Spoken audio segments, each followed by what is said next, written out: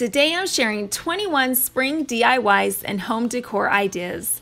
I'll be showing you everything from floral arrangements to decorated eggs, interior home decor and decorating, and even a few thrift flips. I hope you enjoyed this spring DIY compilation. Let's get started with number one. The first DIY that we're gonna do is this carrot flower arrangement. Now I love flowers. They have such a beautiful way to brighten up a room and to bring a freshness to it. This container that I'm using, I got from Home Goods and it was on clearance for $8, so I totally scored there. And this is what else you're gonna need to make this arrangement.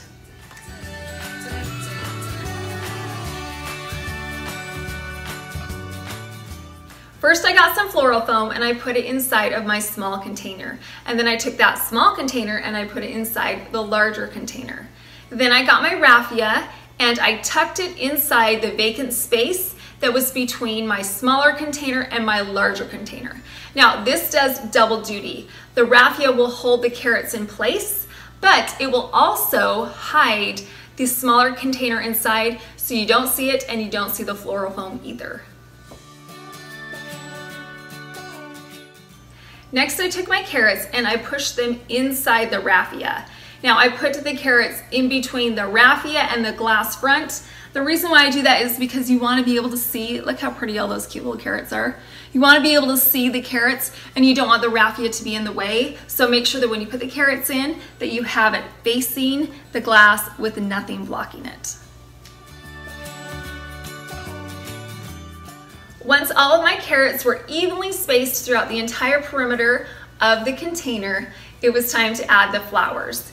Now, all of my flowers are from the Dollar Tree, and the greenery is from Michael's. So I started off with my tallest flower first, which is my hyacinth.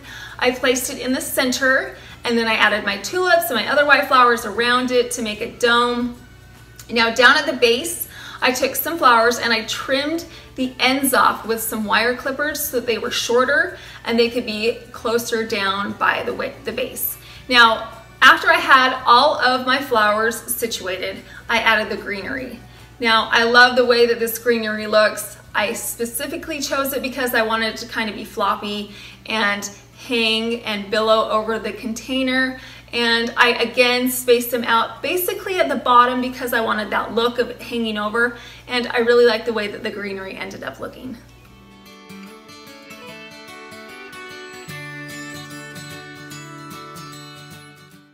I really like the way that these monochromatic flowers, the white flowers ended up looking. I think it really makes the carrots pop because after all they are the star.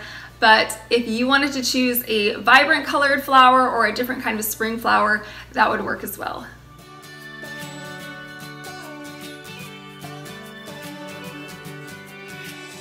My second DIY are these yarn carrots. They are by far the easiest and simplest and fastest DIY of the day.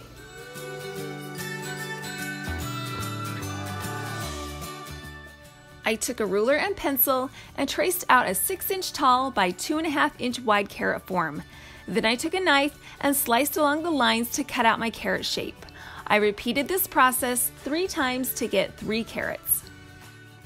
I got this yarn at Michael's and I love the way it looks. It's a beautiful cream and gold. How I started was I got a dab of hot glue and I put it onto the end of my yarn and then I wrapped and I hot glued. And I wrapped and I hot glued. And I made sure that they were right next to each other, that the yarn was right next to each other. And I just kept going until I got to the top. Once I got to the top, I coiled everything around. And then it was all finished and ready for the topper. Now, this green topper is from the Dollar Tree. And I just cut off a segment with my wire cutters and it was a little too long so I got some scissors and I trimmed off the top and then I poked it right into the top of my carrot to finish off the look.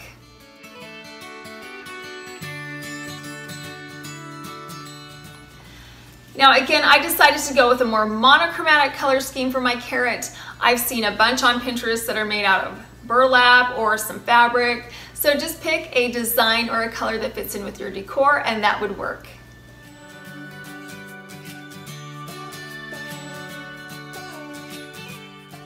Number three is this bird's nest display. Now I love decorating with bird's nests in the spring. I think it's because it's a promise of a new life and a fresh start.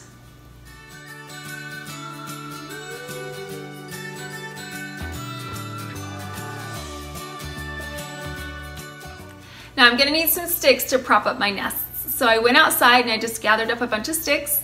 I laid them out and I spray painted them gold in a few coats and then I let them dry completely. Then next I took my Dollar Tree egg ornaments. Now this is not the color I was going for so I needed to change those. But first thing I needed to pull the ribbon off of the top of the ornaments. They came right out, easy peasy. And then I took them outside and I spray painted them gold, again with the same gold spray paint that I used for the sticks. And then I let them dry completely. Now, these eggs have kind of a bumpy look to them because they had glitter on them. I personally like it because I think it looks more natural. If you want a smooth surface, you could just use some plastic eggs. To create a base for my stick tree, I took a votive candle holder and placed a piece of floral foam inside. Then I began arranging my sticks. I put the sticks close together and angled them slightly away from each other to form a funnel shape. This shape will allow me to securely place my nest right inside the funnel. To cover the foam at the base, I'm adding Dollar Tree reindeer moss and securing the moss to the base with floral pins. Next, I'm placing my first nest into the sticks. I pushed the nest deep into the sticks so it was secure and wouldn't topple over when I added my bird and eggs. The base for my second nest is a square piece of foam. I'm covering the entire piece of foam in the same reindeer moss and tacking it down with floral pins. As an alternative option, you could hot glue the moss to the base as well. Then I began adding my sticks. These sticks are slightly shorter than the first sticks because this nest will be displayed lower than the first. Again, I place my sticks close together in a funnel shape, and then I wedge the second nest in between the sticks.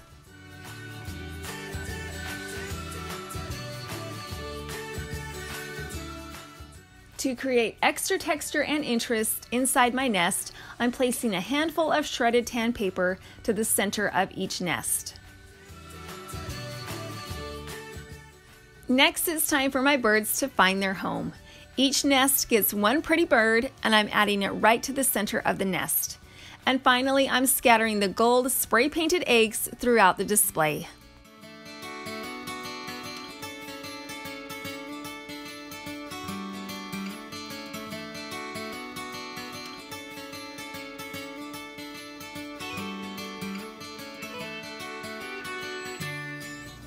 Now you can't have Easter without a few little bunnies hopping around.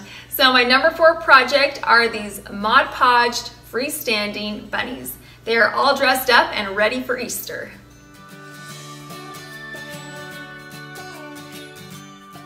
Now the first thing that I did was I selected my scrapbook paper. Now I chose this light blue paper, but this is where you can get creative.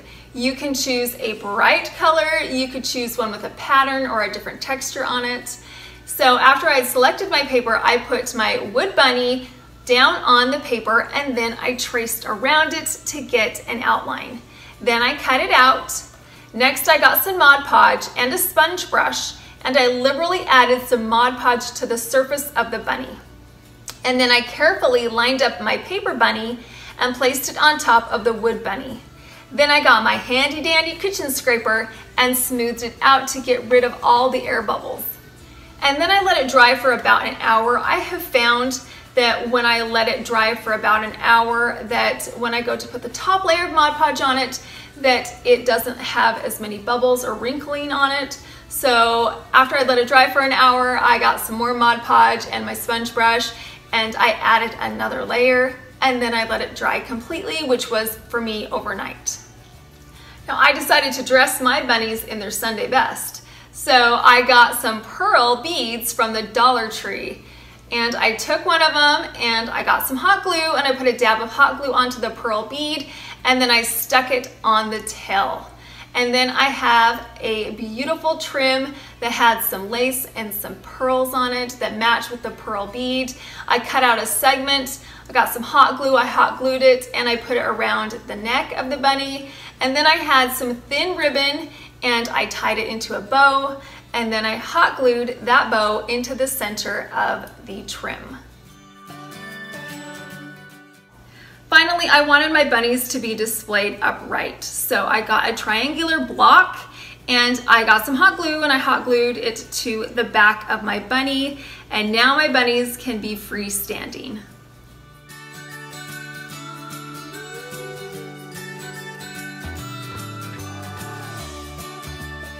So now we have the birds, the bird's nest, and so now it's time for the birdhouse. I got this birdhouse at Michael's and I had a 60% off coupon, yay, which made this house less than $3. I decided to stain it, so I used my trusted Ebony Minwax stain. I sponge brushed the stain all over the house, and then I got a paper towel and I rubbed off the excess because I didn't want to be, to be too saturated. And then also, when I was finished, I wanted it to look a little more aged and rustic, so I got a piece of sandpaper and I sanded down the edges on the roof and on the base and a little bit on the front and the sides. And so that way it looked a little more worn and weathered, which made it look perfect in my book. So now that we've made our birdhouse look old and rugged, it's time to make it pretty. I'm using the same pearl beads that I used for the bunny tails, they're from the Dollar Tree again, and I got some hot glue and I added a little bit of hot glue to each one of the pearls and I stuck it to the opening, the circular opening to the birdhouse. And then I also took a line of hot glue and placed it around the base and I added the pearls to the entire perimeter of the base. I love the way it looks. It makes it look rustic and kind of country chic at the same time. And just so you know, it took one bag to do this entire house, one bag of pearls. To display my birdhouse, I'm placing it on top of a glass cake stand. I've added some extra greenery and a few little mini eggs, and then I'm putting a glass cloche over the top. Today I'm going to be doing a spring thrift flip. Now I found this wheelbarrow and the wreath inside at a local thrift store. We are going to transform them and give them a makeover. Now the first thing that I did was I decided to paint this wheelbarrow. The brown stain on it was not doing it any favors, so I decided to paint it with some white chalk paint, just some spray paint that I got at Walmart. I took my wheelbarrow outside and I flipped it upside down so I could start with the underside first. I sprayed the paint evenly until it was completely covered and then I let it dry for about 30 minutes. Then I flipped it over and spray painted the top side until the entire wheelbarrow was all white. Then I let it dry overnight. The next day I was looking at it and it seemed a little stark white so I decided to kind of make it a little more rustic and a little more aged. So I got a piece of sandpaper. Now this sandpaper is a light sandpaper, so it wasn't gonna take too much of the paint off. So I just sanded down the edges of the wheelbarrow and on the sides and a little bit in the bowl. And it really gave it that aged patina that I was looking for, so it wasn't so stark white.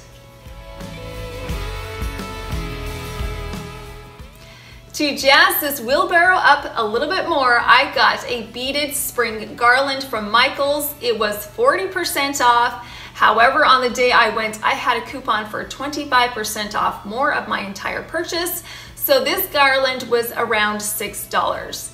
I loved the beads on it. However, I didn't really like the little mini eggs that were on it. So I decided to cut those off. Because they're styrofoam, they came off really easily with a sharp knife. Now what I did was I cut down the center of the egg, not all the way through, just about halfway through, and then I took the string and I pulled it up through the egg. Now the good thing about these eggs is that I'll be able to use them for another project because I only cut halfway through so the front side is still really pretty and will be great in the wreath that I'm going to be transforming later on. Now that the eggs are off of my garland, I can place the wood beads right on top of the rim of my wheelbarrow. Now what I did was I got some hot glue and I placed a small line on the top of the rim and then I added my wooden beads right to the center of the hot glue. I continued to hot glue and place the beads in the glue until the rim was covered with beads. When I got to the end, I snipped off the end of the string and hot glued a single bead in place to complete the circle and to complete this wheelbarrow makeover. Over garland, so I decided I would make a tassel to go on top of the cloche. So the first thing I wanted to do was make some tassels to go at either end of my little garland. Now what I did was I used some really thin ribbon. This is just from Walmart, just thin white ribbon. And I got a piece of cardboard and I began to wrap the ribbon around the cardboard. I did it 25 times and then I took a small piece of ribbon, threaded it under the ribbon on the cardboard pulled it up and tied the ribbon into a tight knot. Then I slid the ribbon off the card, straightened out the loops, got a pair of sharp scissors, and cut the ends of the loops. Now to place my tassel on the ends of this garland, I took the string that was coming out through the bottom portion of the garland and I wrapped it around the center of the tassel, then threaded it up through the beads on the garland. I threaded the string back through a couple of beads and then hot glued the string to itself. Once my tassel was securely on the garland, I took a segment of ribbon and tied it around the tassel, about a half an inch down from the top, and then wrapped it around several times and then hot glued it in place.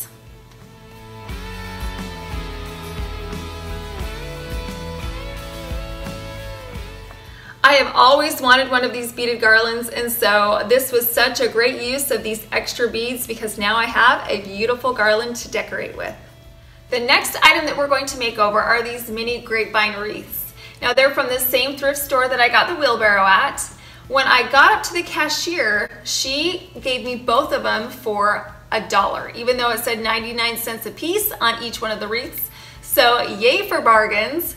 Now to begin decorating this wreath, I'm going to start with a wooden skewer. Now you might wonder why I'm using a wooden skewer, but it's going to help me to display my wreath later on. So I'm going to cut the skewer to size and hot glue it to the center bottom of my wreath. Next, I'm going to add some beautiful spring hydrangeas, some white hydrangea flowers, and also some other spring stems. And then, if you remember, our cast off eggs that we cut off from the garlands? Well, it's time to use them. I'm going to place three of them in the center on the bottom. I'm going to hot glue them in place. So don't throw things away. You might be able to use them later on because all I did was I took the cut side that was on the back and I placed that to the back of the wreath so you couldn't even see it. You could only see the smooth side. So we are repurposing some things that we didn't need anymore on this wreath. And then the final addition to our wreath are a few blue ribbons. I just placed one on top of the other. I tied it into a bow and then I hot glued that bow to the top of my wreath. In the end, I did decide to add two more hydrangea flowers to the center of the bow. I just hot glued them in place and I think that it ties all of the florals together.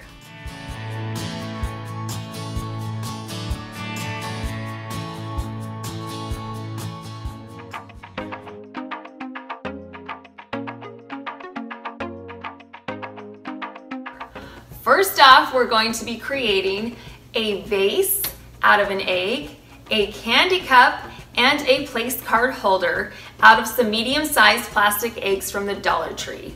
I opened up the eggs and separated them by pulling them apart. I took the first half of the egg and laid it open side down on the table. I put a dollop of hot glue in the center of the top and then place the second half of the egg on top. I held it in place until the glue was dry. I repeated the process with the three different colored eggs. Once my eggs were formed, I decided to wrap them in a variety of different kinds of materials. The first one that I'm gonna do is I'm gonna wrap it in this jute cord that I got from the Dollar Tree. I'll start at the bottom. I got my jute cord and a little bit of hot glue and I placed a line of hot glue around the bottom rim of the egg and placed the jute cord on top and began to swirl the cord around the egg, hot gluing as I went. I made sure the lines of jute cord were right next to each other so there were no gaps where you could see the underlying egg. Once I got to the top, I added a line of glue and then I pressed it firmly in place and then snipped off the excess cord. To wrap my second egg, I'm going to use this raffia. Again, it's from the Dollar Tree. It comes in a package of three. I've already used a few, so I'm getting low on raffia. I'm gonna have to head back soon. But I'm gonna do it the exact same way that I did the first egg. I'm gonna get a line of hot glue. I'm going to place the raffia right in the hot glue. I'm going to continue to hot glue and wrap keeping the lines really close together so that you can't see the underlying egg. I'll do it until I get to the very top, snip off the excess, and then hot glue it all in place and press it firmly together. And finally, I'm going to be using this yarn. I just repeated the process. I hot glued and I twirled the yarn around the egg form until I got to the top and then I just hot glued it all together. And now I have my three different varieties of egg stands. Now to the inside of my little egg cups, I'm going to add a variety of different things. The first one is going to be a carnation. I got this bunch at Walmart for 97 cents.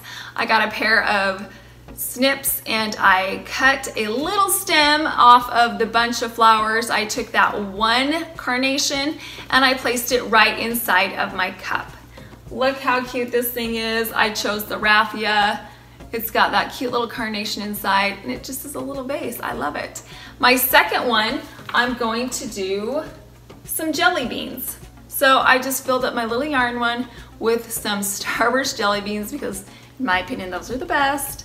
So you could add some Cadbury eggs or some chocolate whatever kind of candy is your favorite, add to this cute little cup. You could give these to guests as they came by, to some friends for Easter. You could even put these at each place setting when you were having an Easter dinner. Speaking of place settings, my final one is the raffia one, and I put a little bit of dried grass inside of the egg cup, and then I placed a white speckled egg in it. And then I just got a strip of paper with my name on it and placed it right in front of the egg. How cute would this be as a place card holder right in the center of a plate? And again, these were so affordable to make. The only money that I spent was on the eggs and I ended up only using three of them so I have three extra eggs for another project. I had the twine, I had the raffia, I did buy the jute. So this project only cost me $2 which in my opinion is a great bargain. My second project is this Mod Podge egg. Can you see that? Oh my goodness, I love this thing and I did it with another one of those Dollar Tree plastic eggs. However, this egg was a little bit larger. It didn't come in a pack. It was an individual egg. So the only money that I spent on this was $1 on that egg.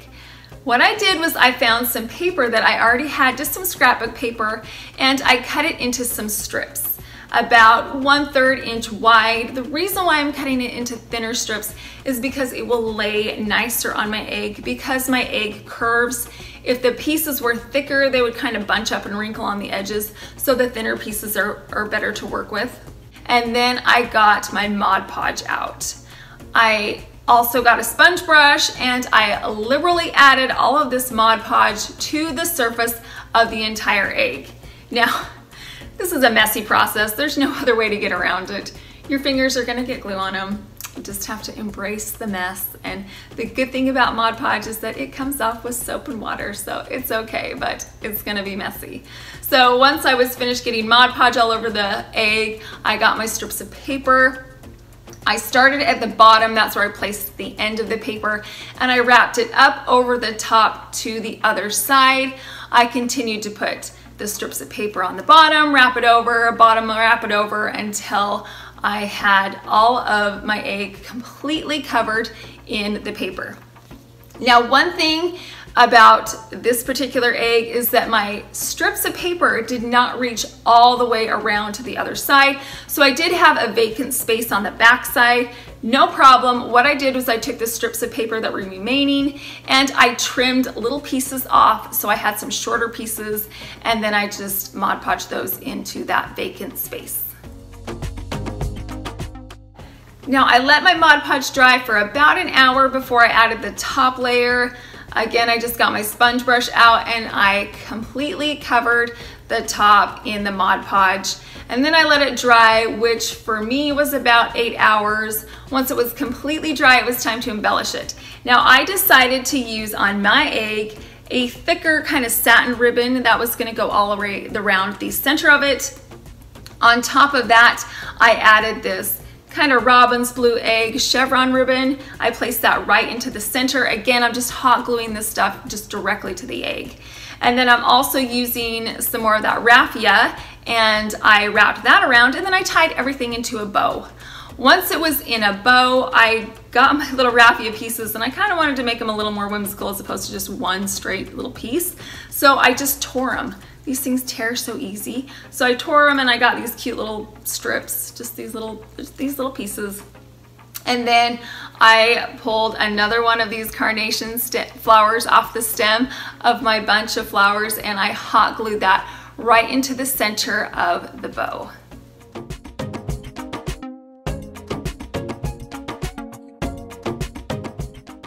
If this is the first time that you're visiting my channel, welcome. I'm Lisa.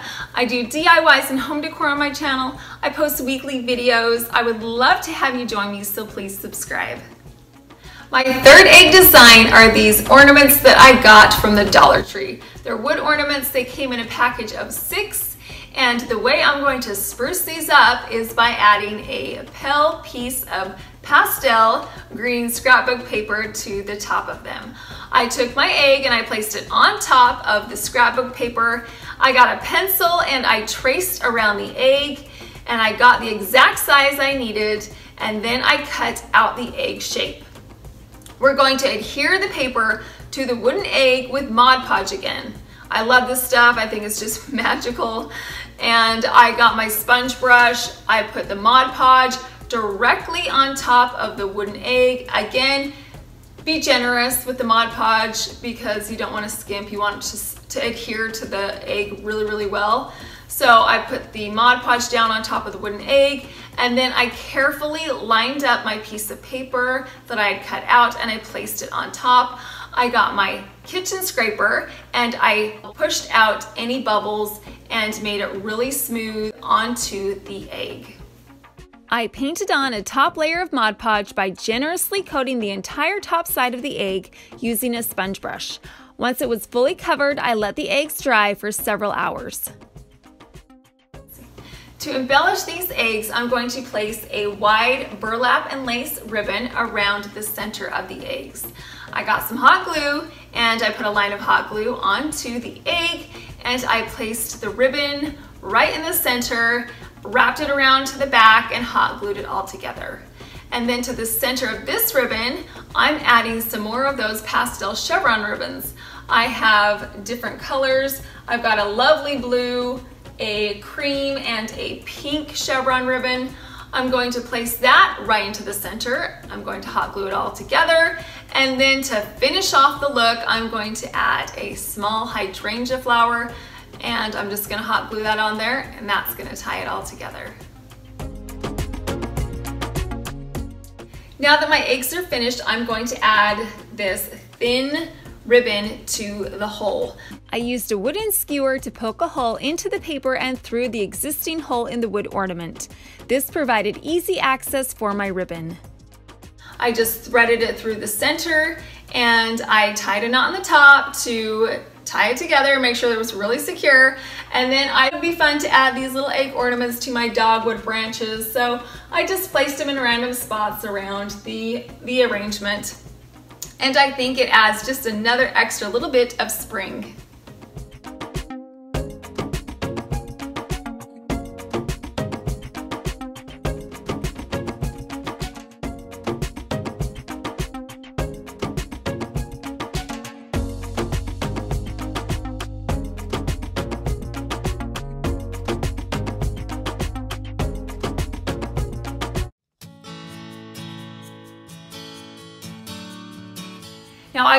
Frame from the Dollar Tree and that's the only money that I spent. I only spent $1 on this DIY.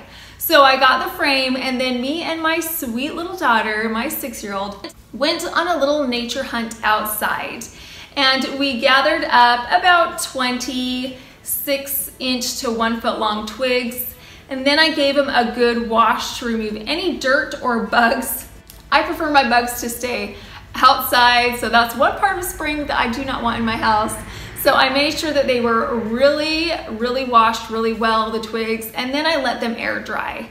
Once my sticks were fully dry, I got a general layout of where I wanted them to be. I placed the sticks around the frame and then I got my hot glue gun and I put a line of hot glue directly onto the frame and then I placed my sticks right on top and pressed down firmly so they would stay in place. Then I continued to add hot glue and sticks to the frame. I like the fact that these sticks aren't straight and that the little curves and knots in them make it look a little more natural and help to resemble a bird's nest. After I was hot gluing everything into place, I let it dry and to make it look a little more natural, I got some of the smaller sticks and I put those basically in the corners where the straight sticks didn't reach all the way across the bottom or the sides of the frame. I continued hot gluing the sticks onto the frame until the frame was completely covered. After my sticks were all in place, I put some moss on. I got this moss at the Dollar Tree and I got some hot glue and I put it in the corners and in various spots around the frame. I just pressed that moss right onto it. And then also at the top, there was uh, some places where you could still see the frame directly and so I put some moss on top of the frame so you couldn't see the frame and it looked like everything was cohesive and one bird nest frame. This bird nest only cost me, like I said, $1 because I had everything that I needed or I foraged outside for it. So I have seen some frames, some twig frames online for $125 and I don't even like them as much as I like this frame. So go ahead and make your own frame. It's a perfect piece for spring and I really think that you'll like it. Now to keep with the really cheap theme, I found a picture online and I just printed it off. I searched for free spring bird printables and there were a lot of options that came up. I decided on this one. If you like this picture, I will leave a link to where I got it on the website so you can find it and just print it off and that's what I did, and then I placed it inside of my frame to pull the look together. I got a set of 18 at the Dollar Tree, but they were not the color that I wanted, so I decided to paint them in two different ways. The first way is this gold egg. Now I just got some spray paint and I took my little eggs outside and I opened them up. This is very important because as you're spray painting them, if they're laying flat on your piece of paper, they won't go rolling anywhere. And then also they get really great coverage because you can paint the entire egg at one time. So I sprayed a few coats of paint on the eggs until they were covered and then I let them fully dry. I painted my second egg in this light blue craft paint that I got from Michaels. I used a sponge brush and I painted a few coats of paint on it until you could no longer see the original egg color. And then I also wanted some gold flecks. I just love the way that the little speckles look on the eggs. So again, I used some gold craft paint and a pretty cheap toothbrush and I dipped the toothbrush bristles into the gold paint and then I flicked it all over the eggs. I let it dry and then I turned the eggs over and I repeated the process. I dipped the toothbrush into the paint and I flicked the gold paint over the eggs to get the pretty little speckles.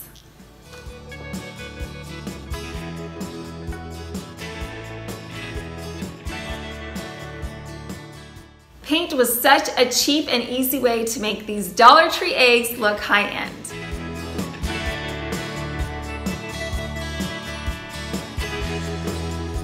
I'm going to add these eggs to this glass vase. I alternated between gold and blue eggs and filled the vase to the very top.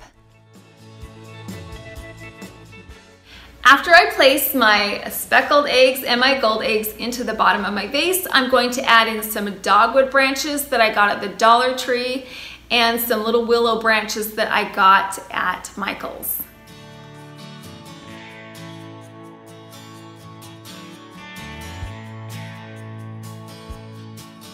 Now what is a spring display without a beautiful bird cage that I spruced up with a variety of bows? I got three different varieties of spring ribbons. I cut my ribbon into a 24 inch segment and made three identical loops. Then I took a 3 inch segment of floral wire and wrapped it around each of the three loops, and then twisted the wire together in the back to secure the loops together. I repeated the process with the blue plaid ribbon. I cut a longer 30 inch segment of ribbon this time because I made five identical loops. Again, I used a 3 inch piece of floral wire to wrap around the loops to secure them in place. My last two ribbons are made from a cream and gold chevron ribbon, which I'm simply going to tie into a bow. Now that all four of my ribbons are made, I'm going to place them all together. I intertwine the loops and place the chevron bows on each side of the larger bows, and then got another segment of floral wire and twisted the wire around the entire bow to secure it all together.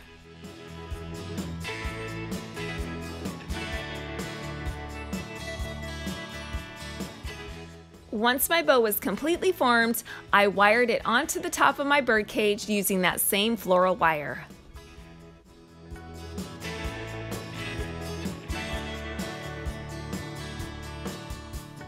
At the bottom of my bird cage, I'm gonna make a little nest. Now I got this raffia from the Dollar Tree. What I'm gonna do is I'm just gonna unwrap it and then I'm going to twist it around into a circle, kind of like a bird's nest. And then I'm also going to add some sparkly lights.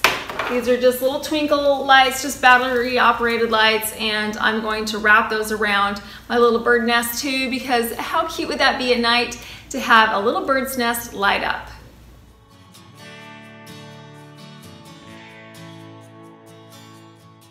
I simply placed my little bird's nest in the bottom of the bird cage. Now that my little raffia bird's nest and the lights are in the bottom of the bird cage, I'm going to add in this little bird house that I'm just gonna open this cage right back up and place the bird house right inside.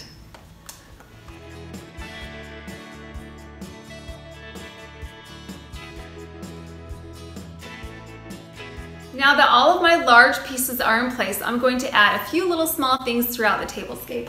Now I've got these little mini grapevine wreaths at Michael's. And what I'm gonna do is I'm gonna take that same raffia that I put in my bird cage, I'm going to wrap it up into a little circular form and I'm going to put it in the center of the grapevine wreath.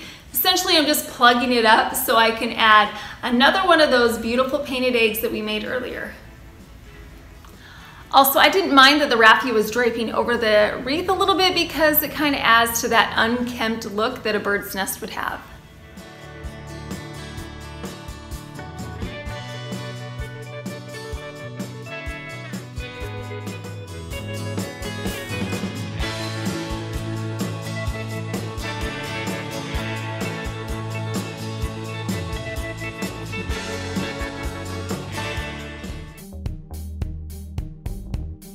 Today I'm going to be showing you how to make these two no-sew girl gnomes. They were so easy to make and the form that we are using is something that you might find at a cemetery. The first thing that I do when I create my gnomes is I get a form. Now in the past I've used some styrofoam cones, I've used some wood triangles, I've used some little pom-poms, and today I'm going to use some cemetery vases. What? Yeah, I was at the Dollar Tree in the floral section and I came across these vases that were right next to the faux flowers. And I pulled it out and I thought, you know, I wonder if I turn this upside down, if it would work as a form for my gnome. And guess what? It does and it is a great choice. For the shaggy beard on my pretty little gnomes, I'm using some yarn that I got at Michael's. Now this cream colored yarn is a little wavy and it's just perfect for their pretty little hair. To create the beard, you're gonna essentially make a giant tassel. So you can either get a piece of cardboard or a book. I'm using a clipboard. Fun fact about me, I love clipboards. I have them all over my house. I love them. I love making notes on them. I just use them all the time. So a clipboard was an obvious choice for me. So what I did was I took the end of my yarn and I placed it right underneath the clip and then I just began to loop it around the clipboard and around and around. Now, I made about 50 loops in my, to make my beard. I want it to be really shaggy. If you're a girl and you've got a beard, it might as well be the biggest beard that you can have and just rock it and own it, right? So once I was done with looping my beard around the clipboard, I took a piece of yarn and I slid it underneath the top part of the yarn. I made a loose knot and then I pulled it off. So after I pulled it off, I made sure that it was all nice and straight and then I tied the knot on again. So I took that little piece of yarn and I tied it on really tight into a tight knot. And then I got a pair of really sharp material scissors and I cut the bottom of the loops so that the strands of yarn would lay flat. Once I was done creating my tassel, I placed it on top of my form. I held it up and I took those same sharp scissors and I cut off any straggling pieces and I made the bottom of the yarn really nice and flat. Then I took it back off, I got some hot glue, I added a decent amount of hot glue to the top of the form, and then I placed my yarn tassel back on top and smoothed it all out. I pressed it down pretty firmly so that it would adhere really well to the form.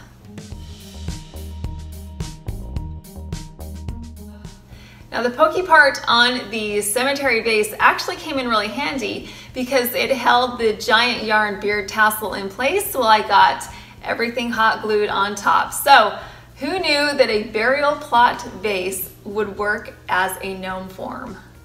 For my spring gnomes, I decided to do some girls because I thought it would be bright and cheery and I wanted to embellish them with all kinds of flowers and pearls and ribbons.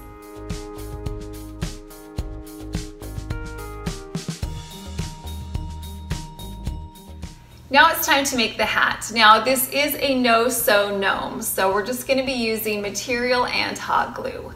Now the material that I got for this first gnome is from Hobby Lobby, and I needed a 12 by 12 inch square piece. So I cut out that piece, and then I hemmed the bottom of the hat first. I put a line of hot glue along the edge of the fabric and folded it up about a third of an inch to create my finished edge. Then I flipped the fabric over so the finished side was face up. I put a line of hot glue along one edge and then I folded the fabric over and pressed the edges together. Now I wanted a little pizzazz at the top of the hat, so I got a ruler and I measured two inches down and I cut some strips about a half an inch apart and then cut down two inches lengthwise. And I did that along the entire top of the hat. Once the slits were cut and the glue was dry, I flipped the hat inside out so the finished side was now on the outside. All of the materials and measurements for both gnomes will be listed in the description box below. Then I gathered the top of the hat together and I got a piece of twine and I tied a bow around it. Now the twine's gonna help in two ways.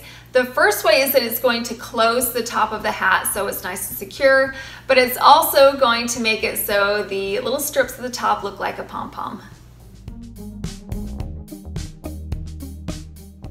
Now to embellish this little lady a little bit further, I got some of this chiffon trim. It's from Hobby Lobby and I got a little bit of hot glue and I put some hot glue around the hat and I just placed that trim right along that hot glue that was pretty close to the brim.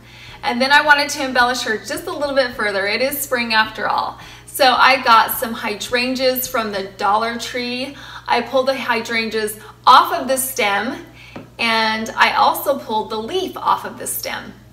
Now there's this little plastic part at the bottom of the leaf. I just pulled that right off and that way when I went to hot glue that onto my trim, it would lay flat. And then I also took those white hydrangeas and hot glued those on top of the leaf as well. Once my hat was finished, it was time to put it on my gnome. But before I did that, I wanted it to stand straight up, so I filled it with some polyfill. Now this makes it look really nice and round and has it stand straight up, nice and tall.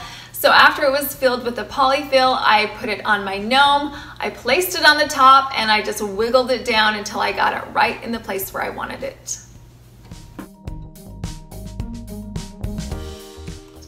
Once my hat was on my gnome, it was time to put the nose on because the hat was in place, so now it's time for the nose.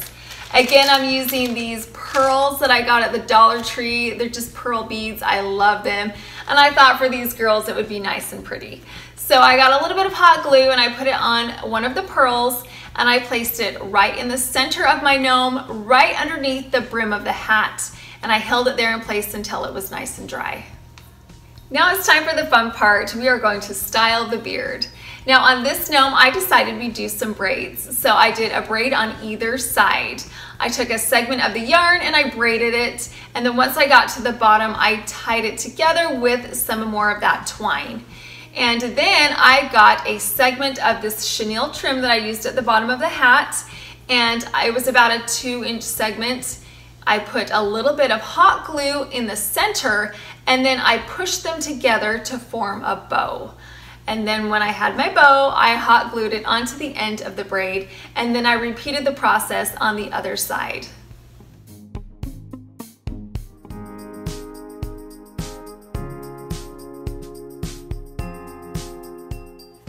And that's it for this pretty little gnome. But of course, every girl needs a friend. So I decided to make this gnome as well. Now everything that I did was exactly identical to how I created my first gnome. However, when I got to the hat, I decided to embellish it a little bit differently. Now the material itself is from Joann's fabric. And again, I just cut it into that 12 by 12 square and I hot glued it together. And then I cut those little strips at the top so I'd have a cute little pom-pom. And then the embellishments that I'm putting on top are number one, the trim is from Hobby Lobby, and I'm just going to hot glue that around the entire perimeter of the hat. And then I'm also going to put some flowers on it because it is springtime. So these flowers are from Michaels, and I just pulled the flower off the stem and the leaf as well. And then I took the leaf and I pulled that plastic part off and then I was able to hot glue it directly onto my hat and it laid nice and flat. And then I took that pink flower. Now this pink flower had a thicker piece of plastic at the bottom of the flower. So I used some scissors and I cut that off and then I hot glued that onto the hat right in the center of the leaf. Once her hat was done, I wanted it to stand up nice and tall, just like my first gnome. So I added some of that polyfill inside and then I wiggled the hat right onto the top of the gnome.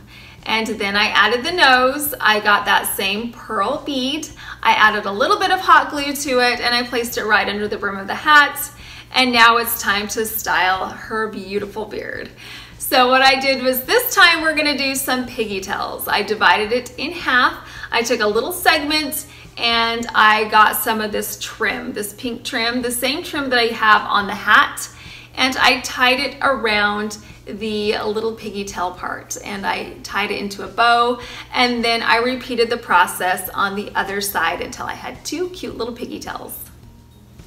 Now both of my pretty little ladies are done and it's time to style them. So I'm going to put them on my buffet table. I'm going to add the bird's nest that we made a few weeks ago. I'm going to put a few little speckled eggs around and then I'm going to add a chalkboard sign that tells people that there is a phenomenal egg hunt this way.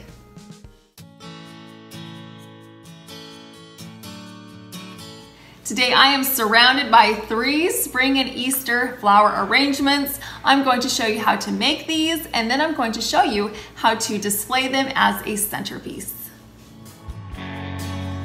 The first centerpiece that I'm going to be doing today is this beautiful flower arrangement. It's cream and it's got some beautiful spring speckled eggs.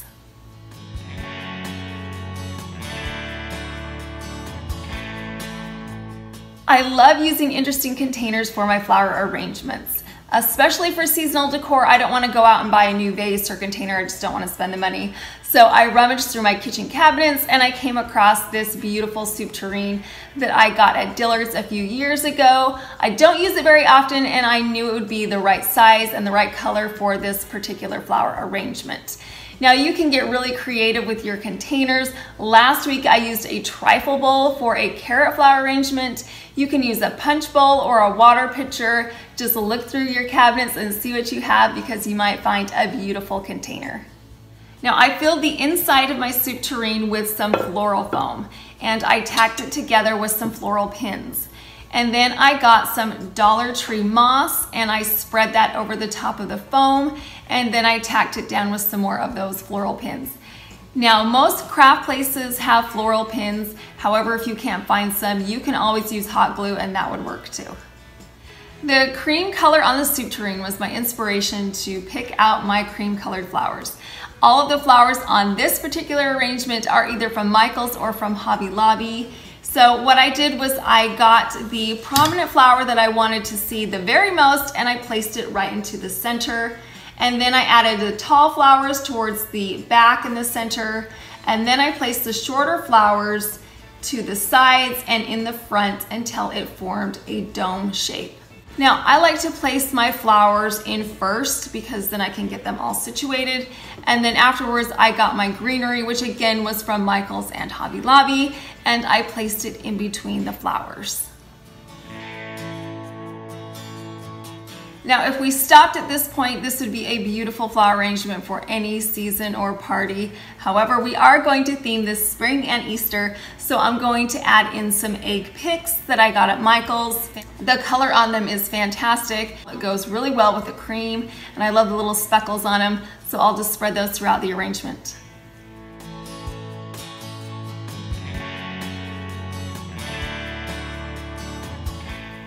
The final piece is this cream and gold and burlap ribbon. I wanted to put a cute little bow on the side, so I cut each piece into a foot long segment. I made one loop in each of the ribbons and I got a piece of floral wire and I wrapped it around the ribbons. And then I got another floral pin and I put it right through the center of my bow and then I attached it right onto the floral foam on my centerpiece. To display this arrangement as a centerpiece, I'm going to add it to a large silver tray. I'm going to put some of those yarn carrots that we made last week around it and on top of the tray to add that extra little bit of spring and Easter. This cabbage flower arrangement is probably one of my favorite arrangements that I have ever done. I didn't even have to look for a container. All I had to do was decide if I wanted a purple cabbage or a green cabbage.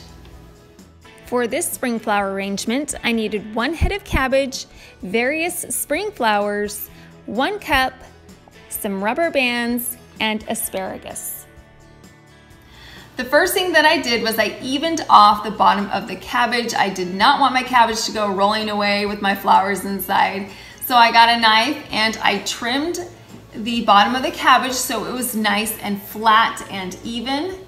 And then I chose a glass that would fit inside my cabbage. I traced out the top part of the glass right onto the top of the cabbage with a Sharpie.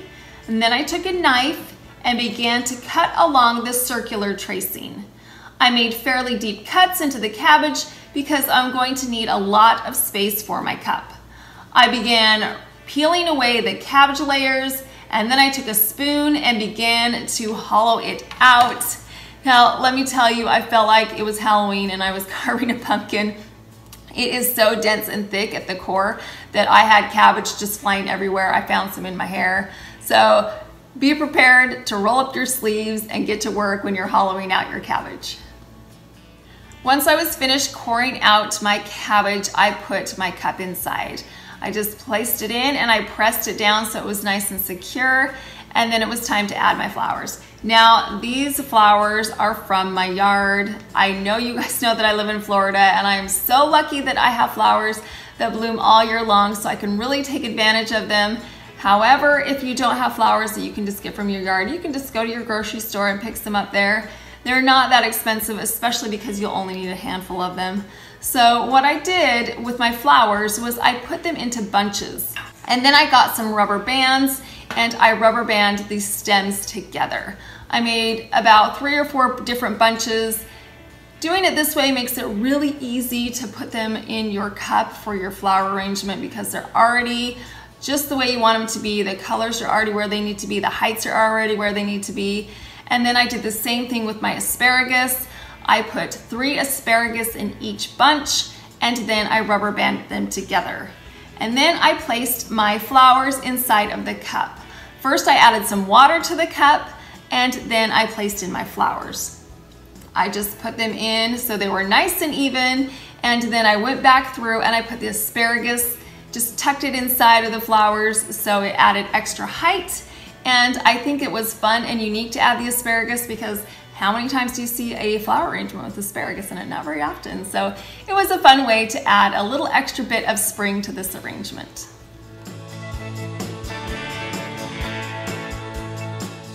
One thing about this cabbage flower arrangement was that I made this several hours earlier and then it's just been sitting in the fridge. So if you're making this for a party, just know that you can make it earlier on the day and then put it in the fridge and then pop it out and it's still gonna look really great.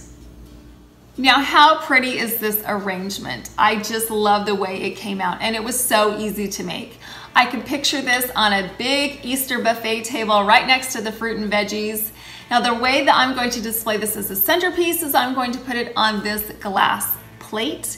And then I'm also going to add some pearlescent ceramic bunnies.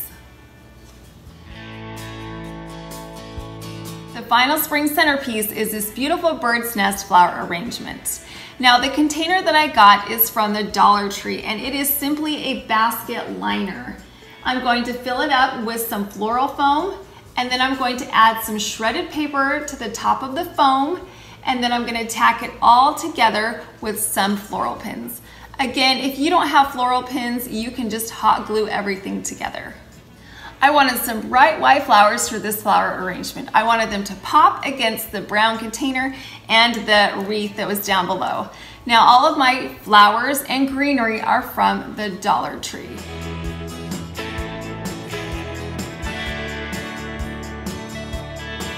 So what I did was I took my stems and I trimmed them into little segments. I had some hydrangeas and I kept a lot of the stems long and then I also trimmed some that were a little bit shorter. And then I began to add my flowers to my foam. I started in the back with my tallest flowers and then I worked my way forward and I added the flowers to the side and to the front that were a little bit shorter until I had a dome shape. Next I added in my greenery in between the flowers. When you add the greenery up against the white flowers, it really makes those flowers pop. So if there were any vacant spaces, I put some greenery in there. I wanted to add something bright and springy to this arrangement and I found these speckled eggs, these turquoise and blue speckled eggs at Ross.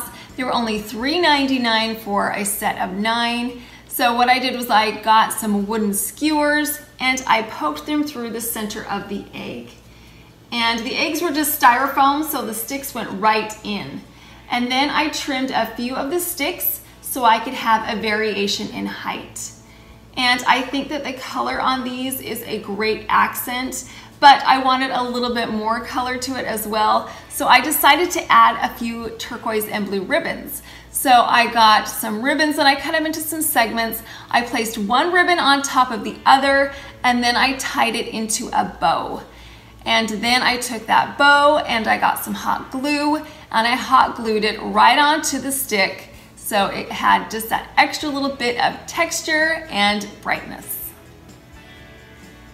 Once my egg picks were finished, I placed them inside of my flower arrangement. And I love the extra pop of color that it brings and the extra little bit of spring.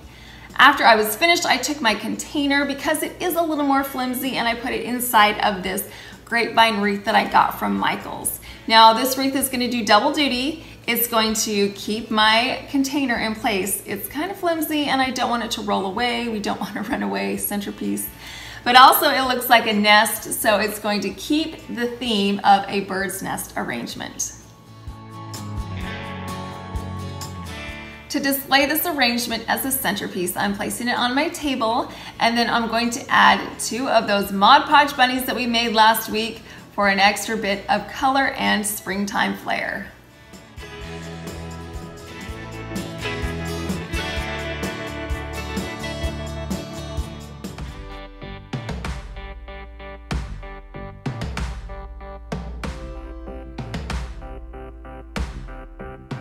Cupcakes are one of my family's favorite sweet treats.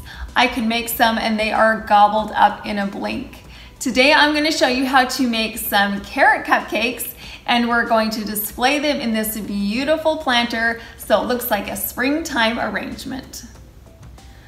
Like many of you, my shopping time has been limited lately, so I decided to shop my home because I had ample time to do it. So that's where I found all of my items for this arrangement. Nothing that I'm using has been newly purchased, including this container. This was at the bottom of a gift basket that I got at Christmas time, you know, the ones that have all the tasty chocolates and the mugs and all that stuff. Well, today I'm going to transition this into spring.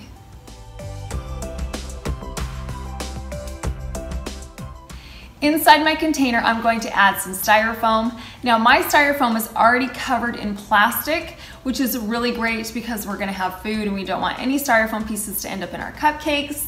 If it's not covered, you can do it yourself. In the past, I've just covered my foam in aluminum foil and that has worked. So what I'm gonna do is I'm gonna take my foam, I'm going to get a ruler and a pencil and I'm going to measure the size of foam that I'm going to need to put into my planter.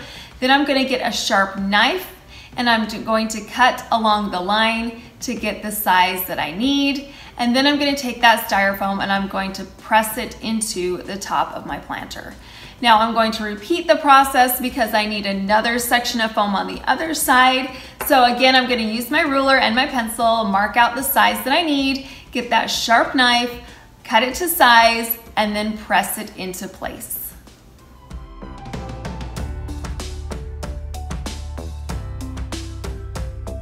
When I make my flower arrangements, I like to cover up the foam, which is no different in this arrangement. So I got these mirror strands at Tuesday Morning. They were in the gift section. They're just little strands that kind of look like grass. They're plastic, and I'm going to use these versus some floral moss because these are plastic, so if they touch the cupcakes, it's not a big deal. If you were to use real floral moss, you might get some little pieces of who knows what in your cupcake, and you don't want to eat that. So what I'm going to do is I'm going to take these strands and I'm going to place them over the top of the foam that's on the top of my container. I'm going to spread it out evenly and then I'm going to get some floral pins and I'm going to tack all of the strands in place so that they are secured to the foam. The next step is to add a few of these wooden skewers to my foam. I'm doing this first because my cupcakes are going to rest on these wooden skewers and these are gonna hold them in place. So what I'm going to do is I'm going to cut my wooden skewers in half with a pair of clippers and then I'm going to take the skewers and I'm going to poke them into my foam at various locations on my container.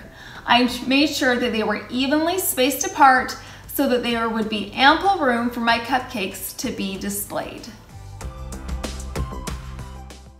If you don't have skewers, you could use toothpicks and that would work as well.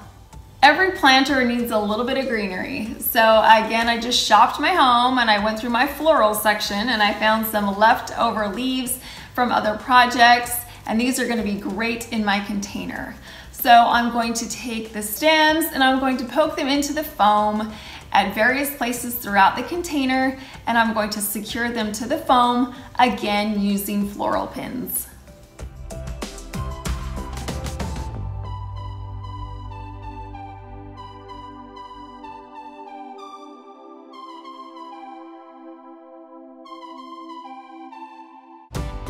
Florals in my planter, I'm adding these really pretty bluish hydrangeas that I got from the Dollar Tree a while back. So I'm gonna take the stems of these and I'm going to clip them into about two to three inches long for the stem. And then I'm gonna place them into the foam. I press them down fairly low and I space them in between the sticks where the cupcakes are going to be placed. That way the flowers won't block the cupcakes when they're added to the arrangement.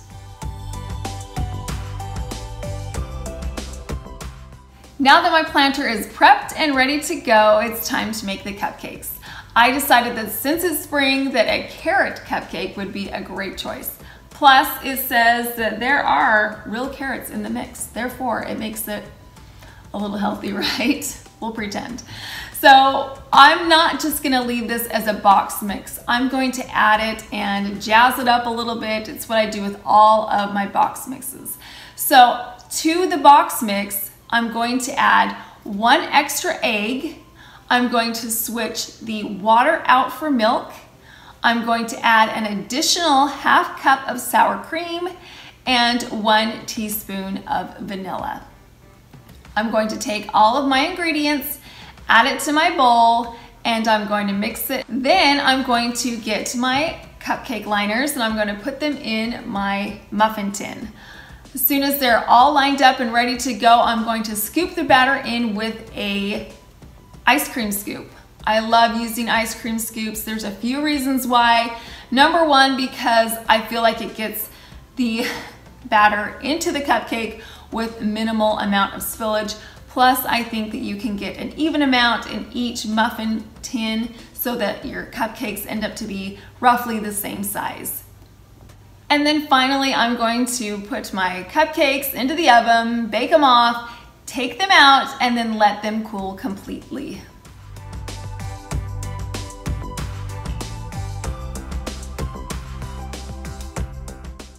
What we're gonna do is we're gonna place our cupcakes on our skewers in our arrangement first.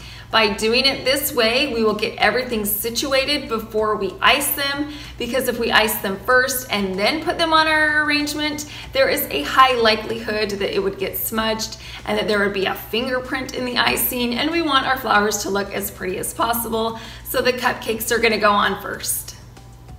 I centered the bottom of my cupcake to the top of the wooden skewer. Then I pressed the cupcake onto the skewer gently until the skewer poked about three fourths of the way through the cupcake. I made sure that my skewer wasn't too long because I didn't want the skewer to poke all the way through the cupcake and out the top. I decided to color my white buttercream in a lovely shade of purple. I thought it would go really nicely with my hydrangeas, plus it looked springy to me. So after I had my icing made, I put it in a large storage Ziploc bag. And I also had a large icing tip that I put in the corner and then I added my icing into the bag. And now I can easily pipe my icing onto my cupcake. Now to pipe the icing onto my cupcake, I'm gonna start in the middle and then I'm gonna swirl the icing in a circular fashion around the entire cupcake. After I piped on the icing to my cupcakes, I got an offset knife and I spread the icing evenly over the cupcake. And then for a final touch, I added a few sugar pearls to the top to give it that extra little pop of spring.